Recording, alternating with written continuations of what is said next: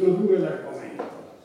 Eh, la, domanda, la, domanda che, che eh, ci è stata rivolta, questa prima domanda che ci è stata rivolta, eh, contiene una serie di questioni di cui la risposta ovviamente non è facile.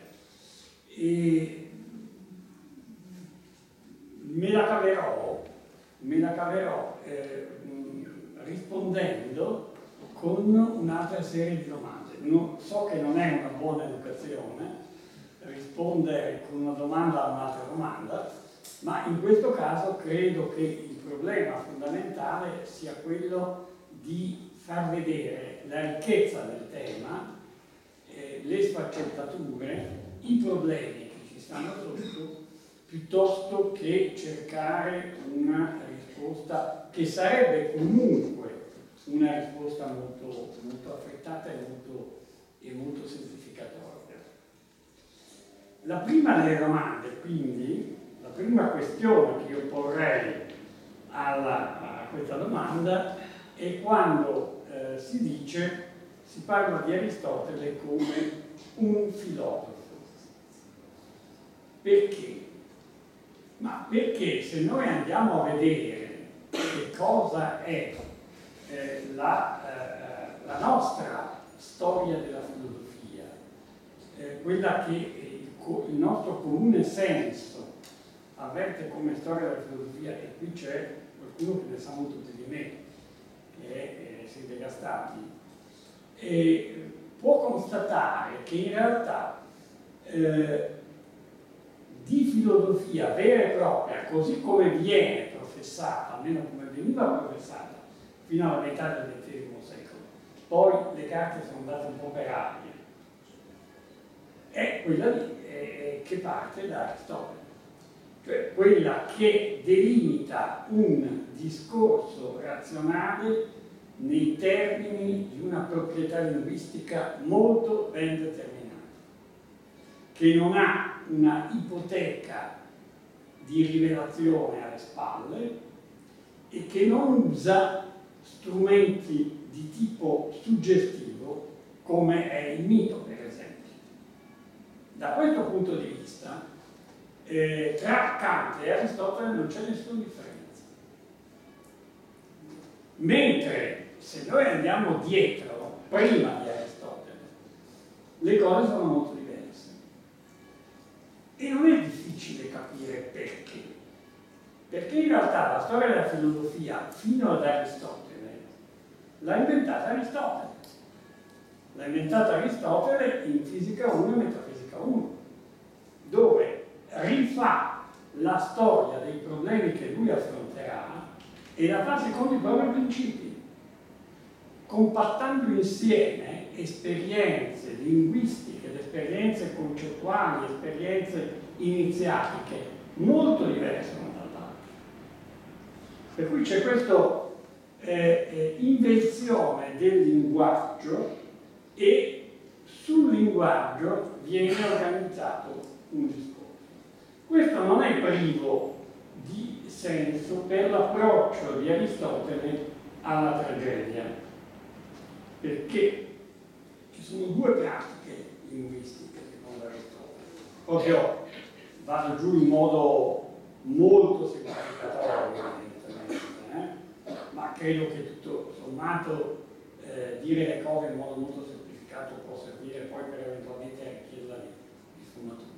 Ci sono due pratiche linguistiche. La prima è quella della proprietà del linguaggio, quella che privilegia la denotazione sulla connotazione. E questo è quello che mette in pratica Aristotele, con molte eccezioni, naturalmente, perché grazie al cielo era persona superiore alla propria inventata disciplina, eh, però in cui il ricorso al valore denotativo dei termini è determinante. Poi c'è una pratica linguistica invece che gioca molto sulle connotazioni. Queste sono la retorica e la poetica. Cioè sono i linguaggi che contengono anche, che sono anche eh, maestri di verità, però in un'altra maniera, cioè che si eh, eh, eh accostano, che, si, eh, che affrontano la realtà in, secondo una pratica linguistica diversa. Per cui eh, l'interesse di Aristotele per la tragedia è proprio l'interesse di chi ha codificato una certa regola di linguaggio per vedere come altre regole di linguaggio abbiano influito in modo molto profondo sul sviluppo della città, della città e quindi vuol dire della cultura.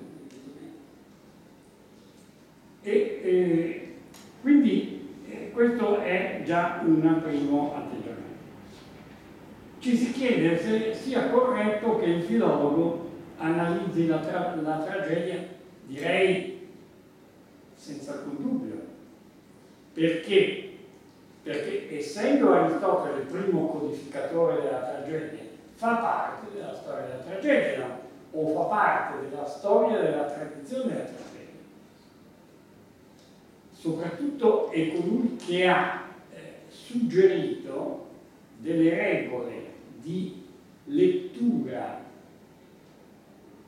Aristotele andava a teatro eh, anche, quindi le tragedie le ascoltava, le vedeva ma delle regole di lettura eh, che, eh, ehm, che sono poi imprescindibili a qualunque esame successivo.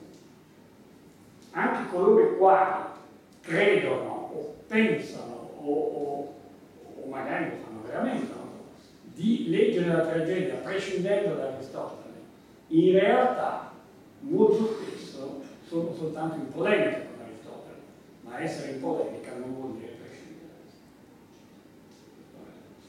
Quindi, eh, se il filologo è uno storico, è ovvio che deve anche occuparsi. Però ci si chiede anche qual è eh, eh la, leggi la, legittimità di una lettura filosofica della tragedia. Qui la mia domanda è proprio non vi so suggerire nessuno cioè non ho idea di che cosa sia una lettura filosofica della tragedia.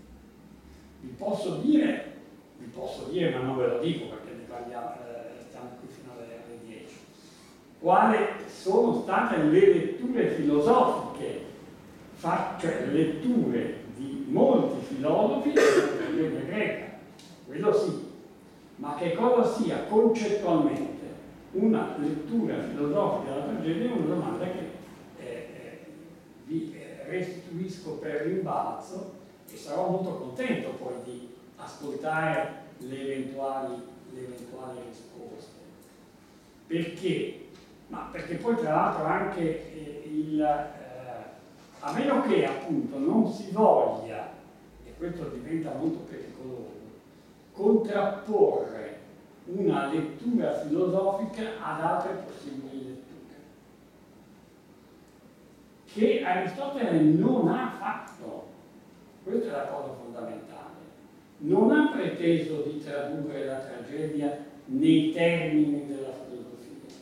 Ha escogitato anzi una serie di categorie che andassero bene per analizzare la tragedia.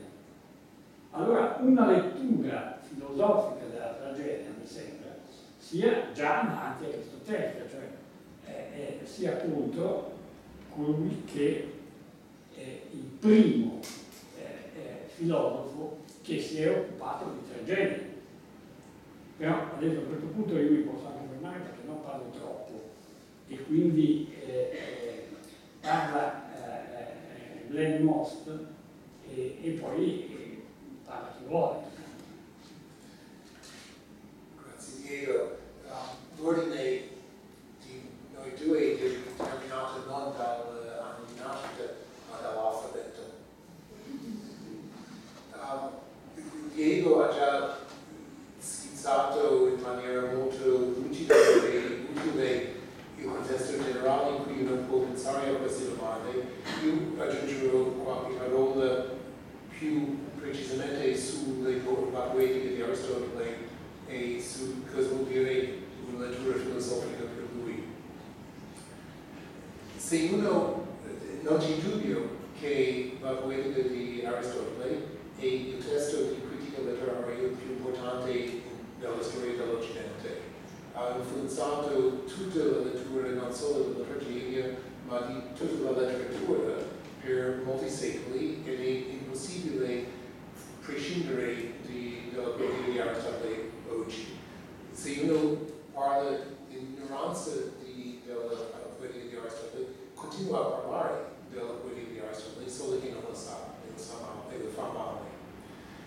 Perciò è un testo di enorme valore e di enorme intelligenza, come tutto quello che Aristotele ha fatto. Però se uno fa, se paragona la tragedia greca come è trasmessa a noi e come è stato in realtà della vita civica e religiosa di Atene nel quinto e quarto secolo, con l'immagine della tragedia greca che ne Aristotele sono due cose molto diverse. Aristotele trascura quasi completamente l'aspetto spettacolo, l'aspetto in scena. Riconosce che esiste, ma esprime disprezzo per questo. Aristotele sopprime, reprime completamente l'aspetto divino. Non ci sono dei nella poetica di Aristotele, benché ci sono dei nella tragedia greca. Non ci sono maledizioni, non ci sono oracoli, non c'è destino. Tutto questo manca completamente nella poetica di Aristotele. Immaginate una tragedia greca senza questo. Manca in Aristotele completamente il coro. Per lui il coro va bene soltanto se si usa come uno dei attori, dei, dei personaggi. Immaginate una tragedia greca senza Il risultato è che l'immagine che ci dà della tragedia è uno di, della descrizione o rappresentazione di individui umani che agiscono e che soffrono. Lui, dato che non parla dell'aspetto religioso, non può spiegare loro, la loro sofferenza per i, i dei, per quello che i nonni hanno fatto. Devi, spiegarlo come un fallimento, un errore. Loro volevano fare qualcosa, si sono sbagliati e sono finiti male. Il risultato è che l'immagine della tragedia greca che ci dà è quello del comportamento umano come viene descritto e analizzato da Aristotele nella sua etica nicomachia. Tutte le categorie, con poche eccezioni, con cui Aristotele um, analizza la tragedia greca, derivano o dalla sua etica, o dalla sua retorica, o dalla sua politica, e vengono applicate alla poetica. Si comincia altrove e poi si arriva a Il risultato è che l'interpretazione di Aristotele è una testimonianza importantissima di come uno poteva vedere la tragedia greca cento anni dopo e anche un fondamento indispensabile per discutere e pensare della letteratura in generale. Però per la tragedia greca stessa, come ci è trasmesso e come è stato messo in scena per cento, cento anni e di più, è una guida fallace, dà un'immagine unica della tragedia greca. Questo si può dire che è una lettura filosofica, e con questo arrivo alla seconda domanda, però ed è evidentemente un'interpretazione filosofica nel senso che è base della filosofia aristotelica. Lui, vedendo la tragedia, applica categorie che ha sviluppato cose, perché fanno buon senso per le altre cose e vanno abbastanza bene, spera, per la tragedia. Questo è, come Diego ha detto, un esempio particolare di un'interpretazione filosofica. Cominciando da Platone, direzione Tanti e ognuno ha una sua interpretazione filosofica. Un'altra questione, e con questo lascio per il momento a voi, è se è possibile avere un'interpretazione non filosofica della tragedia. Si può dire che ogni interpretazione ha delle premesse teoriche sue proprie premesse o le, non le conosce. Fa finta di non averle e riprime. Secondo me, dato che ogni interpretazione ha delle premesse teoriche, è meglio portarle a conoscenza e esaminarle.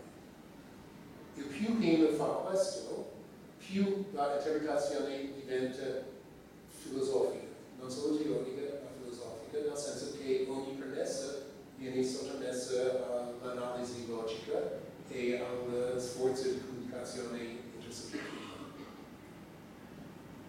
Ciò che io personalmente preferisco non è un'interpretazione che segue una dottrina filosofica particolare, ma una che prova a cominciare con i testi e poi tornando sempre i testi e le premesse prova a portare e due a un grado di conoscenza più lucida, senza però dire che Aristotele aveva ragione o Platone aveva ragione o Hegel o Heidegger o altri. E con questo do poi la parola. Ma posso aggiungere una cosa a quello che hai detto prima, poi dopo sto zittando. Eh, eh, che mi trovo completamente d'accordo. E, eh, direi che proprio questo è la cosa fondamentale, cioè quella di Aristotele non è soltanto una codificazione della tragedia, ma una transcodificazione, cioè un trasferimento. In questi cent'anni le cose sono cambiate, soprattutto è cambiato, detto, prima ho detto Aristotele andava a teatro, però presupponeva che poi i suoi lettori leggessero, per cui scompare tutta una serie di cose. Poi c'è tutto l'aspetto che secondo me è fondamentale, cioè anche secondo, ovviamente secondo la mia studente, e cioè che la tragedia viene deprivata di qualunque legame con la religione. Con questo non voglio dire assolutamente che la tragedia è un rito, eccetera, eccetera, questo lasciamolo da parte. Ma quando uno parla di mito, cioè rappresenta un mito, eh, evidentemente eh, i conti deve farli, perché nel mito ci sono gli eroi ma sono anche gli dei. E invece Aristotele questo fa un lavoro di pulizia eh, assoluta, un lavoro di pulizia che peraltro è fatto altrove, gli va benissimo. Eh. Ecco, basta soltanto quindi fatto per il bambino che Se nessuno fa subito la domanda, aggiungo anche io le parole. Um, è facile criticare Aristotele, non è stato, nonostante è stato una delle più grandi intelligenze nella storia umana. È anche facile criticare quello che dice sulla poetica. È importantissimo che dice sulla poetica se uno vuole capire la tragedia e se uno vuole capire Aristotele. Però avevo indicato in una frase che adesso sviluppo in due frasi che la poetica di Aristotele è una testimonianza importante su come la tragedia greca poteva essere recepita cent'anni dopo. Perché quest, la tragedia attica aveva una funzione importante nella religione e nella politica di Atene. Se fosse stato solo questo, se fosse stato solo un rito religioso, sarebbe sparito. Perché la politica e la religione di Atene interessano pochi oggi. Perché la tragedia potesse sopravvivere alla sua radice politica e religiosa, doveva essere capace di essere capito in, in separazione dalla religione e dalla politica. Quelli che hanno fatto tragedie nella storia occidentale nel quinto secolo, nel sesto secolo, ma in tanti altri secoli, hanno fatto il tipo di tragedia che Aristotele descriveva, senza coro, quasi senza dei, senza uh, tutte queste altre cose. E così la tragedia greca è sopravvissuta. Anche oggi, se va alla tragedia per vedere la Medea di Euripide, saranno pochi che vogliono per, che vanno per vedere il coro. Vanno per vedere Medea. La persona umana e divina di Medea in questa una cosa tremenda e che ci spiega perché lo fa e ci spiega che sa che è tremendo. Cioè, questo vuol dire che la focalizzazione sulle persone e sulle loro azioni e sofferenze che Aristotele fa non solo è il difetto del suo approccio, che lo è, ma è anche un esempio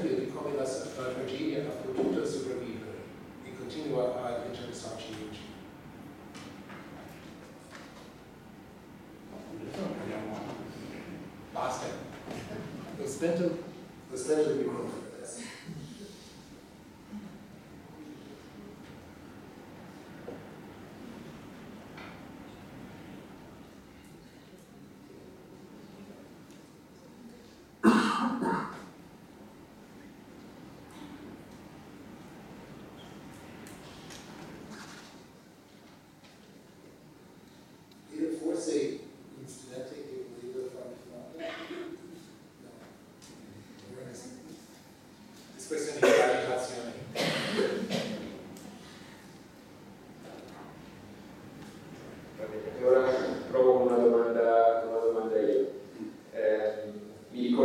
all'ultima cosa perché si è, si è detta, quando ho detto una domanda che avevamo già preparato, quindi sto in un certo senso barazzo, però eh, mi ricollego all'ultima cosa che si è detta, appunto, che si è fatta tragedia anche dopo la quinta, sesto secolo.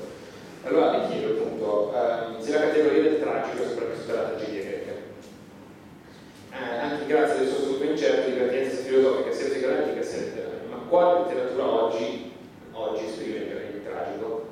Quindi questa sarebbe la- una, una domanda, una domanda, come dicevo prima, preparata, quindi sto barando, ma mi collego a, eh, a una cosa che è stata comunque in qualche modo eh, enunciata da poco. Grazie. Io rispondo io, ma la domanda è rivolta. Comunque non fa niente, io rispondo. Rivolta a entrambi, ovviamente. Ehm, Poi rispondo io dopo. Eh, eh, eh, io farei eh, una eh, piccola obiezione.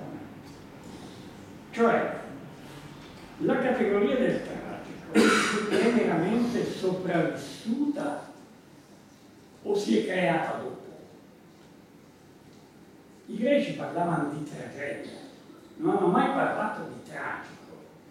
Quando eh, Aristotele usa il termine tragicos, intende l'effetto prodotto, l'effetto emotivo che, che- che produce.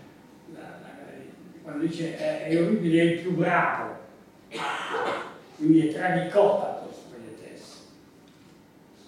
In realtà la categoria di tragico, io sospetto che emerge quando muore la tragedia.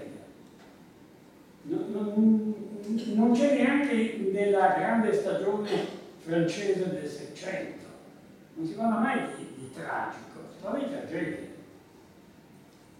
Quando si parla di tragico? Si parla di tragico a partire da quello che si chiama, noi siamo soliti chiamare romanticismo, quindi principio dell'Ottocento. E il mio sospetto è chi è il protagonista del tragico allora, perché tragedia non c'è più. Chi è protagonista del tragico? La, grande, la tragedia che va, le, tragedie poi si scrivono, ma sono tragedie che non si rappresentano. Nella letteratura tedesca eh, le tragedie ci sono, ma ehm, il, eh, il protagonista del tragico è l'uomo, questo lo dicono loro, lo, lo dicono eh, da vedere nella, nella diffusa eh, eh, pubblicistica del principio dell'Ottocento, in Germania soprattutto, eh, è l'uomo contro il destino, è la lotta dell'uomo contro il destino. Quindi già vedete che il destino è un recupero, sì, per cui eh, di un certo atteggiamento, di una certa componente religiosa o parareligiosa che esiste nella tragedia greca, eh, in cui però non viene mai evidenziato in modo, eh, perché il destino è, adesso qui si andrebbe da, da oscura per oscuriora, e, cioè il destino è, eh, si confonde con gli dei, non si capisce bene se è il destino che determina gli dei o, gli, o, o qualche dio che determina il destino. No? Cominciare da Omero la questione già è sempre molto confusa, però eh, qui è un destino completamente diverso e il percorso del tragico ci porta dal primo romanticismo fino all'esistenzialismo, che ci porta fino a Camus, per esempio, o fino a Jaspers. E questo sì è tutto un questo dicevo, questo è un discorso filosofico, ma è una lettura filosofica, ma è una lettura non filosofica nel senso in cui diceva prima eh, eh, Lenus, cioè eh, una eh, concezione del mondo che sta dietro un'interpretazione e che è ineliminabile evidentemente, che uno sappia o no. Eh, eh, l'ideologia ce l'ha, anche quando crede di non, di non averla, ma eh, eh, è un discorso fortemente, come dire, selezionativo, sì, selezionante, fortemente eh, riduttivo, quello di ricavare all'interno delle tragedie questa categoria di tragico, cioè il, la contrapposizione dell'individuo al, al, al, destino. Questo sopravvive, dicevo, fino a Camus, fino a sopravvive fino, fino verso la uh, metà del secolo scorso. Adesso di tragico esiste molto meno. Si parla di tragedia, vabbè, la tragedia di questo, la tragedia di quello, no? È, è cascato un treno al posto, una grande tragedia, ma è, un uso per dire una grande disgrazia, non, non, ha niente a che fare con, con, la tragedia. Perché a un certo punto si estingue? A me non mi interessa tanto quando nasce la categoria di tragico, ma quando muore la categoria di tragico. La mia impressione è che la categoria di tragico viene meno quando viene meno la figura di quello che si chiamava l'intellettuale. Cioè questa figura che a voi è praticamente ignota, è questa figura di eh, che non è soltanto però homme de lettres, che è una presenza culturale, che un, un eh, un maestro eh, eh, di, eh, di, cultura, un maestro di idee e che si scontra contro un destino, cioè una società che non, che non lo accetta. È, è, è, ma quindi con questo discorso però andiamo, andiamo già eh, eh, più avanti. Se noi ritorniamo un attimo eh, dietro, e cioè ci interroghiamo appunto su che cosa possa essere eh, eh, oggi tragico, ecco, questo, ripeto, questo per me non, non, è chiaro, perché prima di tutto bisogna mettere da capo cosa vuol dire tragico. Perché, eh, ripeto, il romanticismo ha offerto una soddisfacente risposta, tutto sommato, da logica